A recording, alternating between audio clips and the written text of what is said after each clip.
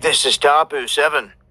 A heads up if you have not heard that we have this biotech company, Oxitec, getting granted experimental use with a permit to release billions of these genetically engineered Aedes aegypti mosquitoes.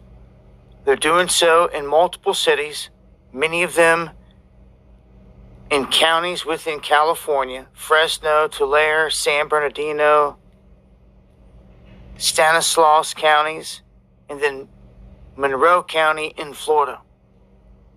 This will be what they're saying is the biggest release of genetically engineered insects in the world. So the EPA approves this despite growing concern raised by scientists surrounding this. Now, they go on to state here that an independent peer reviewed study from, of all places, Yale, says that when they did this, this thing failed to reduce the population of the mosquitoes, which was the whole goal.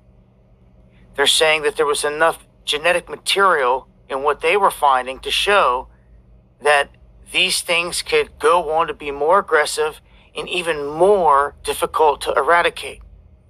That's per their Yale study. So, those findings do not bode well for any of it. Yet, this is happening in these areas, and it's in mass. Thought you might like to know. So, I'll leave links below. Follow me on Twitter and Gettr for more. Hit that subscribe button as well. All right, Shalom. Giving all the praises, honor, and glory unto Yahweh, Bahasham, Yahweh Shai, Bahasham, Rakakodash. Double honors unto the apostles and the elders of the great millstone. Peace and salutations unto the hopeful elect. This is your brother Yerushalayim coming back at you with another video through the spirit and power of Yahweh Bahasham, Yahweh Shai, Bahasham, Rakakodash. And this video will pretty much be around this um, topic the video you just saw. Alright, from Dabu 7. Alright, you know, there's, there's going to be a huge um, largest release of um, of GMO mosquitoes, you know, ever. All right, and I did a video on this, I believe last year, I did more detailed video. But this is just this is just going to be a quick hit, a quick video through spirit and power of Bashim Yahushai, just to just to reinforce the um this this topic. So you know this this this is going to happen, right? You know what I mean? And just as he was going through, you know, they were saying that um, you know, even in the studies, alright, the studies show that um, releasing these things never reduce the population as they said it would. Alright? Because that's the main, re- main reason or the main premise that they're going on is that these things, these newly, these changed or modified insects, alright, they're going to redu- reduce the, um, the population, you know, because mosquitoes usually, usually cause um, sickness like dengue fever, malaria, so on and so forth all right? But it actually does the opposite. All right so they, they, these these not going to be these not not released you know to help you in any way. You know that that best best believe that for sure. All right you know? In fact when you um when you understand how deadly um these insects could be in fact let me let me just get a uh, clip here. I took from Wikipedia uh, this is just a clip from Wikipedia showing the um, most deadliest animals in the world. Alright, and mosquitoes are number one. They kill over a million humans per year. Alright, because they give um, a lot of different diseases. As we saw, we spoke before, dengue fever, malaria, yellow fever, fever, um, chikungunya, different forms of en- encephalitis. They have Chagas disease, Rift Valley disease, Zika, West Nile disease, all these different diseases right? They're actually more deadly than humans. As you can see, humans is number two, followed by snakes and dogs. Alright? So, you can well understand how deadly these things could be. Alright? You know, plus, all what we see here is prophecy. All we see here is prophecy. Alright? So, what did the Lord say? He said that He's going to send back the plagues of Egypt. Alright? And this is why this is why the apostles always stress on prophecy. right? Because prophecy is where it's at, right? And which is the greatest gift, gift of prophecy, out of all the spiritual gifts, all right? And let's get at, let's get this prophecy in Second Ezra 15. Okay. The Lord said He's going to bring back these plagues. Let's see if I can. Oh, here we go. Here we go. Let me start at um, verse. Let's start at verse 8. It says, Second Ezra 15 and 8, I will I will hold my tongue no more as touching their wickedness, yeah, touching the wickedness of, of, of his people, the wickedness of the heathen, right, which they profanely commit. Neither will I suffer them in those things in which they wickedly exercise themselves. Behold, the innocent and righteous blood crieth unto me, which is elect, and the souls of the just complain continually, yeah, the elect. And therefore saith the Lord, I will surely avenge them, and receive unto me all the innocent blood from among them. Alright? Behold, my people is led as a flock to the slaughter.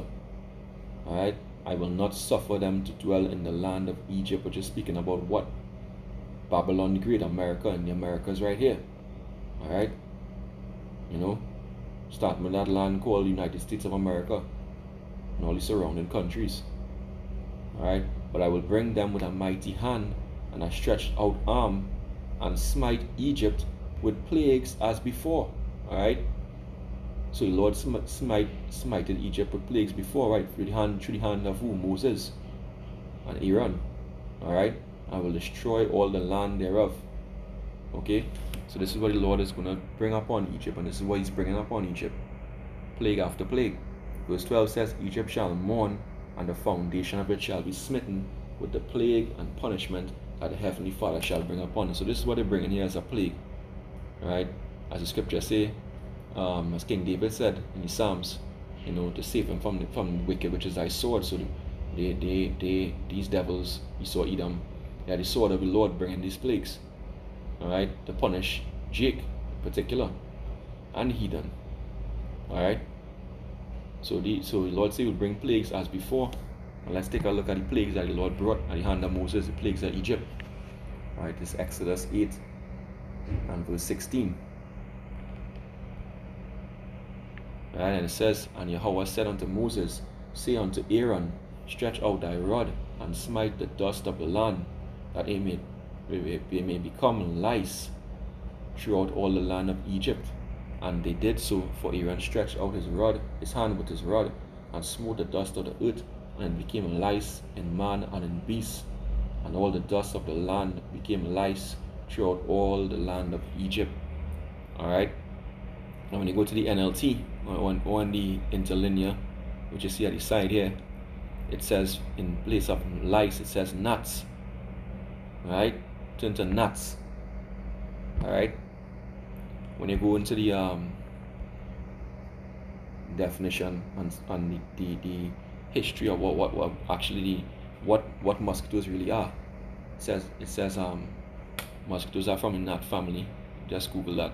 Mosquitoes are members of a family of nematoceran flies, the Culicidae, uh, from the Latin culex, right? So the mosquitoes actually is called culex, right? Meaning midge or, or gnat, right? So the mosquito is a type of gnat. And gnats and mosquitoes related. It says um, a gnat is one of a family of insects that includes flies and mosquitoes. So here you have it. Alright. So mosquito is a type of gnat. Alright, so this is a plague. Just like the plague that, that happened long ago in Egypt, the Lord is doing it. He said he would do what? Let's get that. Alright. Um, second Ezra 15 and 11. But I will bring them with a mighty hand and a stretched out arm and smite Egypt with plagues as before. So just how the Lord did before in, times of Moses, he's doing it again in this time. Alright? The Lord is going to destroy the land. He's going to, he's going to reduce population like what he planned. Alright? Destroy the wicked. Alright? And even the name, the name of that mosquito. Let me see if I could find anything on this. It's called the Aedes aegypti. Salakia. See. Where where do Egypti originate? Salakia. Originate from. Alright.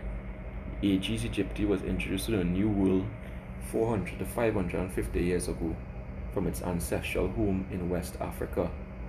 Alright, via European slave trade ships. Alright, so it came this type of this this um type of mosquito. Alright, it's not natural to the, to, to the western world. Alright. It's more at home in the eastern world into Africa, places like Egypt, you know, West Africa, Nigeria and these places. But it was brought across here by who? By by Esau. Alright? Same way he brought he brought us across, you know, via the transatlantic slave trade. Alright? So it came from its ancestral home in West Africa via European slave trade. Alright? Um, is Aedes aegypti from Egypt. The mosquito species Egypt Aedes was um, identified as a vector in all dengue outbreaks occurring before 1940 and as a nuisance in Alexandria and Cairo, which are in Egypt. Alright? But a substantial decrease in its population was observed through the use of um, triggering its disappearance from Egypt. So it was in Egypt. Alright, so that's that's spiritual too. Alright, because this mosquito probably was a family of mosquitoes that were maybe in the original plagues. You know, when when Moses and Aaron um obeyed the Lord and sent the plague on Egypt. Alright? Because it basically they said down here it was a nuisance in Alexandria and Cairo. So hence, hence the word Egypti. It is Egypti. Alright, so they the Lord sent his plagues. No, the plagues not slack. As men count slackness. The word of the Lord is not slack. Alright, and what we seen here is prophecy living out. So, yeah, that's all I have on that. You know, I pray this this short lesson was edifying. Alright, want to give all praises, honor, and glory unto Yahweh, Bahasham, Yahweh Shai, Bahasham, Rakakodash. Double honors unto the apostles and the elders of the great millstone. Peace and salutations unto the hopeful elect. Wa Abad Babal, destruction unto Babylon, and Shalom.